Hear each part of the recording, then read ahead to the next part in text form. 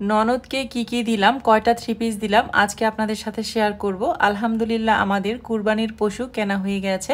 পশুটা বাসায় চলে এসেছে। পুরো ভিডিওটি জুড়ে থাকলে আপনারা দেখতে পারবেন। আমার হাজব্যান্ড আমার ছেলে, আমার ভাই, আমার খালু, সবাই মিলে অনেক কষ্ট করে আজকে সারা দিনে কুরবানির পশু কিনা শেষ করেছে, আলহামদুলিল্লাহ। সবাইকে অগ্রিম ঈদ মোবারক জানিয়ে আমি আমার আজকের ভিডিওটি শুরু করছি। আসসালামু আলাইকুম, সবাই কেমন আছেন? আশা করছি সবাই অনেক বেশি ভালো আছেন। আল্লাহর অশেষ রহমতে আপনাদের দোয়া আর ভালোবাসা নিয়ে আমরাও আলহামদুলিল্লাহ বেশ ভালো আছি।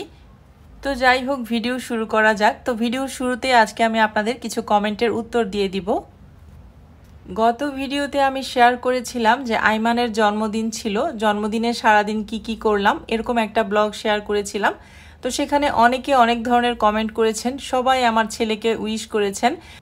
প্রত্যেকটা আপু, ভাইয়া, আন্টি এবং সোনামণিরা আমার আইমানের জন্য মন থেকে দোয়া করেছেন, ভালোবাসা জানিয়েছেন। সবাইকে জানাচ্ছি আমার মন থেকে অনেক অনেক দোয়া আর ভালোবাসা। প্রত্যেকটা মায়ের সন্তানেরাই ভালো থাকুক, মায়ের বুক জুড়ে থাকুক। এই দোয়া আমি করি সব সময়, সব সন্তানের জন্য। তো এখন আমি কয়েকটা কমেন্টের উত্তর দিচ্ছি। গত ভিডিওতে আমি কারও কমেন্টের ওইভাবে উত্তর দিতে পারিনি। প্রচুর ব্যস্ততার মধ্যে সময় পার করছি। সবার কমেন্টে আমি পড়েছি, লাভ রেট দিয়ে দিয়েছি, কিন্তু কারও কমেন্টের উত্তর ওইভাবে দেওয়া হয়নি। আইমানের জন্মদিনে আমি বলেছিলাম যে আমরা নিজেরাই ছিলাম, আর কেউ কিন্তু ছিল না। আর প্রচণ্ড গরম থাকার কারণে, আর আমার প্রচুর ব্যস্ততা থাকার কারণে আমি কিন্তু কাউকেই ওইভাবে দাওয়াত করিনি। ওর বাবা বলেছিল, আমি কিন্তু আপনাদের সাথে বিষয়টা শেয়ার করেছিলাম। তো সেজন্যই আসলে শ্বশুরবাড়ি, বাবার বাড়ি কাউকেই বলা হয়নি। আর আমার ছেলের জন্মদিনটা আসলে আমরা কয়েকজনই মনে রাখি। সবাই আসলে ওইরকমভাবে মনেও রাখে না। যার যার লাইফ নিয়ে কিন্তু সে সে ব্যস্ত। ব্যস্ততার মধ্যে কেউ কিন্তু কারোর জন্মদিনটা মনে রাখে না। তবে আমার বোন তুলি এসেছে বলে আপনাদের অনেকেরই একটু প্রবলেম হয়েছিল যে কেন বোন এসেছে, অন্য কেউ এলো না। তো আমার বোন কিন্তু আমার ছেলের জন্মদিনটা আরও অনেক আগে থেকেই মনে রেখে একটা কেক বানিয়েছে। তো সেই কেকটা নিয়ে সে এসেছে আর তার খালামুনি আসাতে সে অনেক বেশি খুশিও হয়েছিল। তাকে খুশি করার জন্যই কিন্তু আমার বোন এসেছিল। সবাই অনেক ভালো ভালো কমেন্ট করেছেন। তার মধ্যে থেকে দু একজনের একটু কষ্ট হচ্ছিল যে আমার বোন কেন এসেছে। তো আপনাদের উদ্দেশ্যে বলছি, আমার বোনের মনে ছিল আমার ছেলের জন্মদিন আর আমার ছেলেকে খুশি করার জন্য ও দাওয়াত ছাড়াই কিন্তু চলে এসেছে। ওকে কিন্তু আমি কোনো রকম দাওয়াত দিয়ে আনিনি। বোনের বাসায় দাওয়াত দিয়ে আনতে হবে এমন কোনো কথাও নেই। ওর মন চেয়েছে, ও এসেছে। তো আপনাদের যাদের কাছে ভালো লাগেনি বিষয়টা, বলেছেন, উমুককে দাওয়াত দেননি, সুমুককে দাওয়াত দেননি।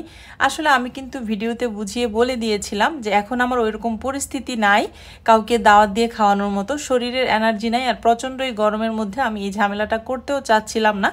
তারপরেও যেহেতু আপনারা এই ধরনের কমেন্ট করেন, কেন করেন জানি না। সবারই কিন্তু কিছু পার্সোনাল বিষয় থাকে, যা আমরা সব কিছু ভিডিওতে শেয়ার করি না। তো আমরা যতটুকু শেয়ার করি, ততটুকুই কিন্তু আপনারা দেখেন। লাইফস্টাইল ব্লগাররা যে সব কিছু শেয়ার করে, আমার কাছে কিন্তু এরকমটা মনে হয় না। আছে অনেকে সব কিছু ওপেন করে দেয়। আমরা কিন্তু কিছু প্রাইভেসি বজায় রেখে আমাদের এই ভিডিওগুলো আপলোড করি। তো যাই হোক, ভিডিওতে ফিরে আসা যাক। এখন আপনারা যে তিনটা থ্রি পিস দেখতে পাচ্ছেন, এই তিনটা থ্রি পিস আমি আমার ননদকে দিচ্ছি, আমার পেজ থেকে। অনেককেই দিয়েছি, প্রায় বিশটার মতো থ্রি পিস আত্মীয় স্বজনদেরকে দিয়েছি, কোনোটাই আপনাদের মাঝে শেয়ার করিনি, ওইভাবে সময়ও পাইনি শেয়ার করার মতো। কিন্তু ননদকে এখন দিচ্ছি, সেটা দেখাচ্ছি, তার কারণ হচ্ছে অনেকেই কমেন্ট করেছেন ননদকে কি দিলাম বা ননদকে কি দিয়েছি, ননদকে কিছু দেননি মানে নেগেটিভ চিন্তা ভাবনাটা যাদের বেশি তারাই এই ধরনের কমেন্টগুলো করেন। তো তাদের উদ্দেশ্যে আমি এই শ্যুটটুকু করে নিয়েছি আর কি। ননদের জন্য এই তিনটা থ্রি পিস দিলাম, সাবান দিলাম লোশন শ্যাম্পু আর বাচ্চাদের জন্য কিছু চকলেট আছে, সেগুলো ফ্রিজে রাখা আছে। ওর বাবা যখন যাবে তখন নিয়ে যাবে। আমার ননদ কিন্তু এখনও তার ভাইয়ের সাথে দেখাও করতে আসেনি। অনেক সময় অনেকেই আমার বাসায় আসে, আমার শ্বশুর বাড়ির বাবার বাড়ির, আমি সেগুলো ক্যামেরায় ক্যাপচার করি না। আসলে সব সময় ব্লগ করার মতো মানসিকতাও থাকে না।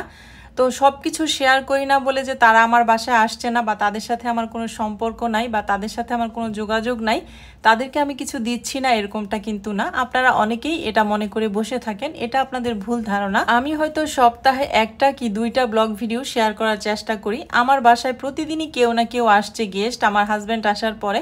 একবেলা দুপুরের ভাতও এখনও পর্যন্ত মেহমান ছাড়া খেতে পারিনি।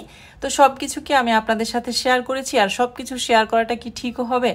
এতে করে আপনারা অনেকেই কমেন্ট করেন উমুকে আসছে না সুমুকে আসছে না উমুককে দাওয়াত দিচ্ছেন না সুমুককে দাওয়াত দিচ্ছেন না। এগুলো আসলে পার্সোনাল ব্যাপার অনেক কিছুই থাকে সব কিছু আপনাদের মাঝে শেয়ার করা ঠিকও না আমি মনে করি। যারা এই ধরনের নেগেটিভিটি নিয়ে কমেন্ট করতে আসেন তারা একটু বুঝে শুনে কমেন্ট করবেন কারণ লাইফস্টাইল ব্লগ শেয়ার করি বলে যে সব কিছুই আপনাদের মাঝে ওপেন করে দিতে হবে এরকমটা কিন্তু না।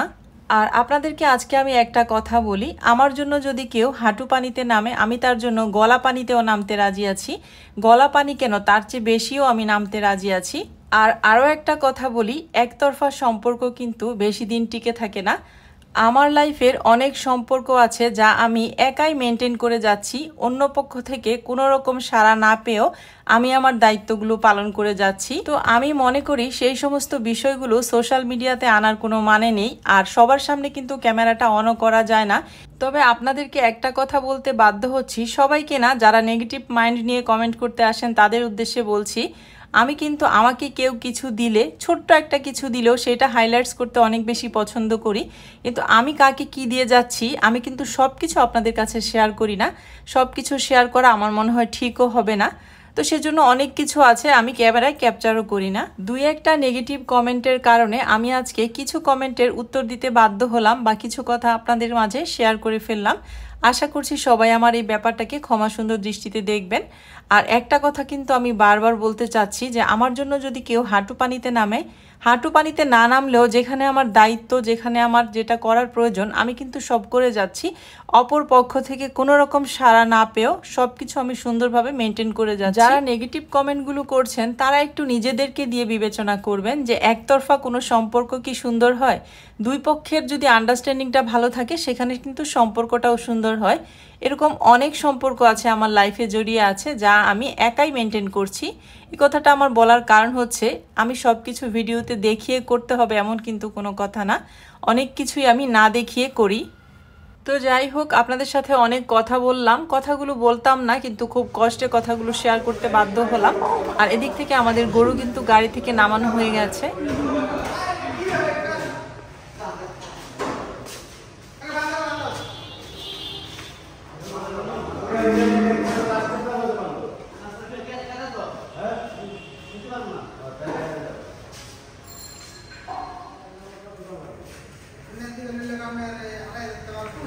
Lagu mah. কালার ছাড়াই না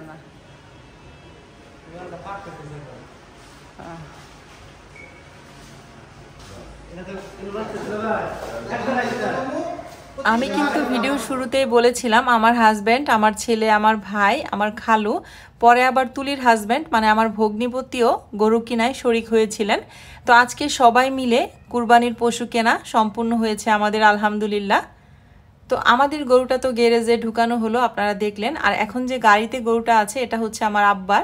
তো আমার আব্বা যায়নি, আমার হাজব্যান্ডের কাছে টাকা দিয়ে দিয়েছিল, আমার হাজব্যান্ড কিনে এনেছে। তো এখন আমার ভাই হচ্ছে আমার গরুটা প্রথমে নামিয়ে দিল, এরপরে এটা হচ্ছে আমাদের বাসায় নামিয়ে দিয়ে ও চলে যাবে। আর ওর গরুটা ও আগেই বাসায় নামিয়ে এসেছে। আজকে সারাটা দিন ওদের উপর দিয়ে অনেক ধকল গিয়েছে, আর ওরা গরু কিনতে অনেক দূরেও গিয়েছিল। একদম সেই কাপাসি আমরাত বাজার আছে, অনেকেই চিনবেন। সেই জায়গায় গিয়েছিল, সকালবেলায় গিয়েছে, এখন রাত নয়টার মতো বাজে। তো সব শেষ করে আর কি আলহামদুলিল্লাহ আসতে পেরেছে। সবার গরু কেনাই সম্পন্ন হয়েছে। তো আমার এই ভিডিওটা কিন্তু শুক্রবার দিনের করা। আমি আজকে শনিবার দিন ভয়েস ওভার করে আপনাদের মাঝে শেয়ার করছি। আপনারা কে কোথায় আছেন, কে কোথায় ঈদ করছেন, অবশ্যই কিন্তু কমেন্ট করে জানাবেন। কার কার কুরবানির পশু কেনা হয়ে গেছে সেটাও কমেন্ট করে জানাবেন। আলহামদুলিল্লাহ আমাদের কুরবানির পশু কেনা হয়ে গেছে। আজকের ভিডিওতে তো সেই প্রথম থেকে আপনাদের কমেন্টের উত্তর দিচ্ছিলাম কয়েকজনের আর কি। যারা অনেক নেগেটিভ মাইন্ড নিয়ে কমেন্ট করতে আসেন আমাকে, সর্বদাই করে যাচ্ছেন। তো এতে আমার কিছু যায় আসে না। এটা আপনাদের মানসিকতার পরিচয় আপনারা দিয়ে যাচ্ছেন। তো এখন যারা আমাকে ভালোবেসে আমার ভিডিওটি দেখছেন তাদের উদ্দেশ্যে আমার একটা রিকোয়েস্ট থাকছে। তারা প্লিজ ছোট্ট একটা লাইক দিয়ে আমার ভিডিওটি কন্টিনিউ করবেন। আপনাদের একটা লাইকই কিন্তু আমাকে নিয়ে যেতে পারে আমার গন্তব্যে। আর যারা আমার চ্যানেলটাতে আজকেই প্রথম এসেছেন আমার এই লাইফস্টাইল ব্লগগুলো প্রথম দেখছেন আপনাদের কাছে যদি আমার এই লাইফস্টাইল ব্লগগুলো ভালো লেগে যায় তাহলে আপনারা ফ্রেন্ডস অ্যান্ড ফ্যামিলির সাথে শেয়ারও করে দিতে পারেন। আর আমার চ্যানেলটির পাশে থাকার জন্য চ্যানেলটিকে সাবস্ক্রাইব করে দিতে পারেন। আর এই যে উনি উনি কিন্তু গরু কিনতে গিয়ে আজকে একটা অ্যাক্সিডেন্টও করে এসেছে। ওনার পায়ের উপরে হচ্ছে গরু পা দিয়ে মানে অনেক ব্যথা দিয়েছে, পা ফুলে গিয়েছে আর একদম কাদা টাদা দিয়ে কাপড় চোপড় ভর্তি। গরুর বাজারে নাকি প্রচুর পরিমাণের কাদা ছিল। আমাকে অবশ্য ভিডিও কলে দেখিয়েছে, এত পরিমাণ কাদা, আমি তো দেখে পুরো অবাক যে এত কাদার মধ্যে মানে হাঁটু পরিমাণ কাদা দিয়ে ওরা গরুগুলো কিনে এনেছে। তো গরুটার প্রচণ্ড ক্ষুধা লেগে গেছে। আমরা হচ্ছে উপর থেকে বালতি গামলা যা যা ছিল সব নিয়ে এসেছি। আরিফ হচ্ছে ভুসি, লবণ, পানি দিয়ে গুলিয়ে দিল খাওয়ার জন্য আর হচ্ছে খড়কুটা কেটে দিচ্ছে। আর বাইরে অনেক ঘাস হয়েছে গাছের মধ্যে। আরিফ বলল যে, ম্যাডাম, ওগুলোও তুলে নিয়ে আসি, ওকে দেই। তো আজকে তো শনিবার, আর মাত্র একদিন বাকি আছে মাঝখানে। রবিবার দিন বাকি আছে, সোমবার দিন আমাদের পবিত্র ঈদ উল আজহা।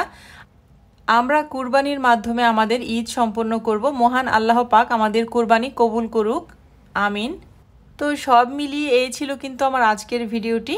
আপনাদের কাছে কেমন লেগেছে অবশ্যই কমেন্ট করে জানাবেন। আমি আপনাদের কমেন্টের অপেক্ষায় থাকব। আপনাদের সুন্দর সুন্দর কমেন্ট কিন্তু আমাকে পরবর্তী একটা কন্টেন্ট তৈরি করার জন্য অনেক বেশি অনুপ্রাণিত করে। তো ওর বাবা কিন্তু গরু কিনতে গিয়ে মিষ্টি, আনারস, কলা এগুলোও নিয়ে এসেছে। তো এখন ওর বাবাকে মিষ্টি দিচ্ছি। ডায়াবেটিসের রুগী যদি এত মিষ্টি খায় তাহলে চলে বলেন তো।